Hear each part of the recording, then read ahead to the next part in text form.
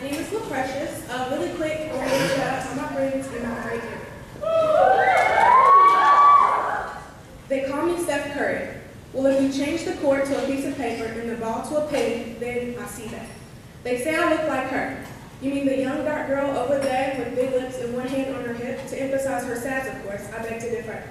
They say my life is like the diary of all mad black women. Well, if you change the mad to excited and erase the black altogether, then you can see where I've been. They say you can't do this or won't do that. Well, if you change the can't to can and the want to win, then I see that. You are who you say, so don't let the negativity of others affect the memories made today. The purpose of this poem is not to bring you down, but to show appreciation and glory to those, with a different story. I encourage you to beat the odds. Change they to I and forget what they say, because who are they anyways? Behind every emotionless wall is a heart beating anyone to comprehend such a stature protecting the insecurities built within. As you can see, society has already made up in their minds what we should be. But together we stand and we say.